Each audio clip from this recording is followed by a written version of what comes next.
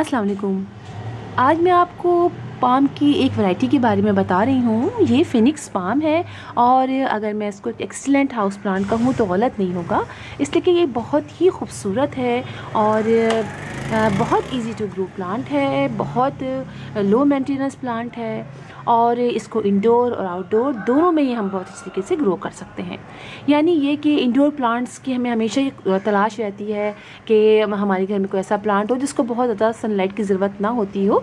लेकिन ये एक ऐसा प्लांट है, जिसको बहुत ज़्यादा सनलाइट की ज़रूरत नहीं होती है, लेकिन अगर आप थोड़ी देर के लिए इसको धूप में रख भी देते हैं, ऐसी जगह पर रख देते हैं, जहाँ पर हल्की सी मॉर्निंग की या दिन की एक घंटे की धूप आती है तो उसमें भी ये प्लांट बहुत अच्छे तरीके से ग्रो करता है। इसके लीव्स बड़े ही खूबसूरत होते हैं, आप देखिए कितने प्यारे हैं, और ये बहुत सॉफ्ट से होते हैं। इनको हाथ लगाते हुए बहुत अच्छा फील होता है, और पाम की सारी ही वैरायटीज़ बहुत प्यारी होती है, लेकिन ये भी बहुत ही खूबसूरत है। ये प्लांट जो है, वो सीड से भी ग्रो किया जाता है, इसके बेबीज़ भी निकलते हैं और सीड से जो है, वो बहुत आसानी से ग्रो कर लेते हैं, इसके थोड़ा सा जब बड़ा हो जाता है तो इसमें फ्रूट्स लगते हैं, वो फ्रूट्स आप कलेक्ट कर लीजिए और फिर उनको लगा दीजिए साफ़ धो के अच्छी तरीके से और फिर ये प्लांट निकलना शुरू हो जाता है और बहुत अच्छे तरीके से बढ़ता है और बहुत खूबसूरत लगता है।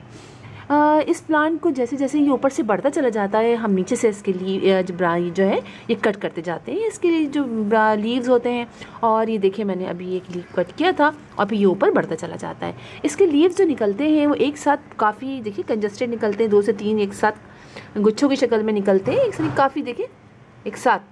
तो इसमें अक्सर मिलीबग वगैरह का अटैक भी जाता है, लिहाजा वक्ता फ़ौकता इसे हमें चेक करते रहना पड़ता है। और हमें लगे कि इस पर कोई अटैक हो गया है। और वैसे भी वक्ता फ़ौकता अपने प्लांट्स के अंदर जो सूपी वाटर हम इस्तेमाल करते हैं, वो इस्तेमाल कर लेते हैं तो इससे ये मिलीबग वगैरह इसके वो ख़त्म हो जाते हैं। इस प्लांट को सॉइल की बात करें तो हमें, चूँकि ज़मीन पे हम लगाते हैं तो ज़मीन पे तो आप इसको किसी भी सॉइल में लगा लें तो ज़मीन पे ये एडजस्ट हो जाते हैं। लेकिन जब हम छोटे छोटे पॉट्स में लगाते हैं तो ज़ाहिर बात है हमें इसका ख्याल रखना पड़ता है कि इसके अंदर बहुत ज़्यादा पानी ना जाए और तो वरना अगर ज़्यादा पानी होता है तो इसकी रूट्स भी ख़राब हो जाती हैं। तो हमें जो इसकी सॉइल बनाएँगे, हम वो ऐसी बनाएँगे जो वेल ड्रेन हो, यानी हम उसमें बालू मट्टी या रेत आप सैंड जो है वो ले लीजिए और वो ले लें आप फिफ्टी परसेंट ले लीजिए ट्वेंटी फाइव परसेंट जो नॉर्मल मट्टी होती है, जो घर की होती है, जो पॉट्स में हमारी पुरानी बच जाती है या जो भी मट्टी हम यूज़ करते हैं पॉट्स में डालने के लिए, वो लेंगे और ट्वेंटी फाइव परसेंट हम इसके अंदर काउडंग फर्टिलाइज़र डाल दें कॉम्पोस्ट डाल दें। तो ज़्यादा इसमें ज़रूरत नहीं होती है, बहुत ज़्यादा फर्टिलाइज़र की साल में दो दफ़ा हम इसमें उसको फर्टिलाइज़ कर सकते हैं। जैसे हम इसको करें, एक तो स्प्रिंग में कर लें, और दूसरा हम समर समर में कर लें।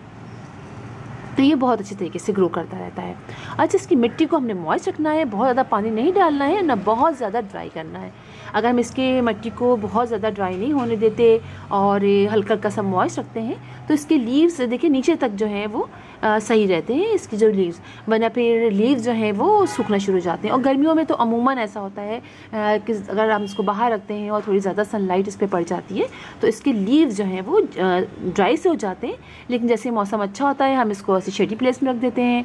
तो वहाँ पर फिर इसके लीव्स दोबारा सही होना शुरू हो जाते हैं। मक्के जो लीव्स निकलते हैं उनमें वैसे ग्रीन कलर आता है। तो अगर आप इसको इंडोर रखना चाहते हैं एज अ हाउस प्लांट अंदर के तो अंदर अपने इंडोर तो आप इसको ऐसी जगह रखिएगा जहाँ पर थोड़ी सी ब्राइट सनलाइट आती हो। मतलब खिड़की के पास रख दीजिए या फिर ट्यूबलाइट जलती हो तो वहाँ पर, और फिर हफ़्ते में एक दफ़ा आप इसको थोड़ी देर के लिए बाहर ऐसी ब्राइट सनलाइट में ला के रख दीजिए और बाकी पूरे वीक आप अंदर रखिए तो ये बहुत अच्छे तरीके से ग्रो करेगा। आ, मेरे पास कई प्लांट हैं और सारे ही बहुत खूबसूरत है लेकिन इसके लीव जो हैं उसको टच करते बड़ा मज़ा आता है और बहुत खूबसूरत है और बिल्कुल आप इसको आपको केयर नहीं करनी पड़ती है बस पानी का ख्याल रखना पड़ता है ना बहुत फर्टिलाइज़र का डालना पड़ता है। तो एक बहुत ज़बरदस्त प्लांट है अगर आपको वह शौक़ है पाम प्लांट्स का तो आप बिल्कुल लाइए और इस प्लांट को अपने घर में ज़रूर जगह दीजिए। बहुत खूबसूरत प्लांट है। तो फिर इन आपसे मुलाकात होगी किसी और वीडियो में, किसी और टॉपिक के साथ। तब तक के लिए अल्लाह हाफिज़।